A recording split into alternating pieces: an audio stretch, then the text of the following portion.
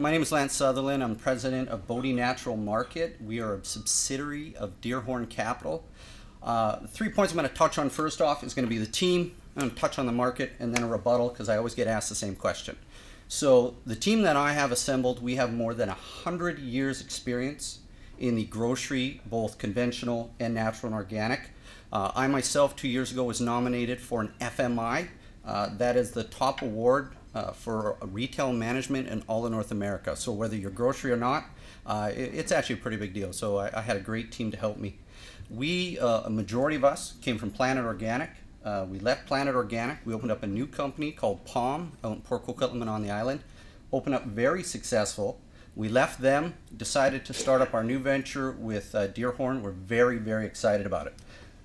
Those of you who are unfamiliar with the natural organic industry, double digit growth, eight years in a row, no signs of slowing down. Um, you can see it everywhere. It is absolutely unstoppable.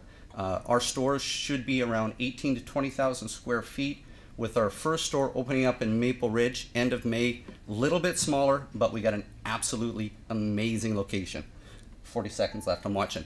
Okay, so uh, the one question I get asked all the time is what is stopping Save On, Safeways, Real Canadian Superstores from doing this?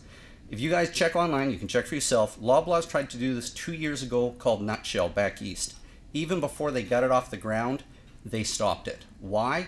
Because they cannot handle the local vendors, which which our stores and other stores that are similar to us are successful with. We deal about 450 vendors. Probably 30% of them are local to that community. So we have no fear of any of the big boys trying to come in and get into that market. They just can't do it.